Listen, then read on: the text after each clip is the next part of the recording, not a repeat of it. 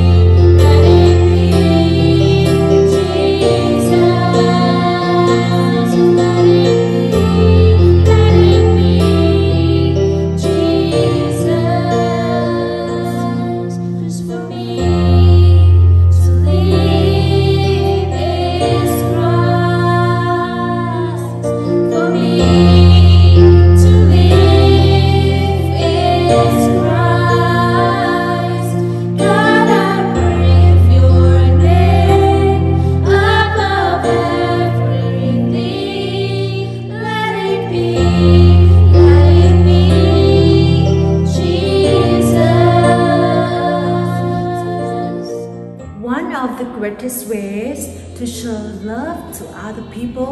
is to be patient with them เรามีหนทางในการที่จะสำแดงความรักของเราให้กับคนอื่นมากมายเลย แต่หนึ่งทางที่เราสามารถทำได้คือ เรามีความอดทนกับเขาใช่ไหม It is not easy มันไม่ง่ายเลย but it is easy to get impatient with yourself with other and even even little things in แต่มันง่ายที่เราจะหมดความอดทนใช่ไหมกับแม้กระทั่งตัวเราเองกับคนรอบข้างของเรา หรือแม้กับสิ่งเล็กๆที่เกิดขึ้นในชีวิตของเราเราก็หมดความอดทน ใจร้อนใช่ไหม Patience is not just about waiting for something but it's about your attitude while waiting ความอดทนเนี่ยไม่ใช่เป็นการแค่อดทนรอบางสิ่งบางอย่าง แต่มันเกี่ยวกับท่าทีท่าทางของเราในการ รอว่าเรามีท่าทีท่าทางในการรอยังไง เราบ่นหรือเปล่าเราสงสัยหรือเปล่าเรามีแต่คำถามคำถามใช่ไหม Don't give up so quickly because you are not seeing the result of your words ฉะนั้นอย่ายอมแพ้ในการที่เราอดทนรอหรือในการที่เราทำอะไรก็ตาม เพราะเรายังไม่เห็นผลของมันใช่ไหม As the Bible say in Colossians 6 9กาลาเทียบทที่ 6 ข้อ 9 บอกกับเราว่า อย่าให้เราไม่ร้าในการทำดี เพราะว่าถ้าเราไม่ท้อใจแล้ว เราก็จะเกี่ยวเก็บในเวลาอันสมควร บอกว่า Galatians 6 9 Let us not become weary in doing good for at the proper time we will reap a harvest if we do not give up อาเมนหรือเปล่าใช่ไหม so there is a right time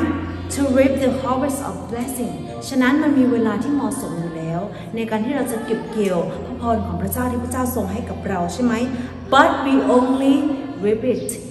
if we are patient not giving up too quickly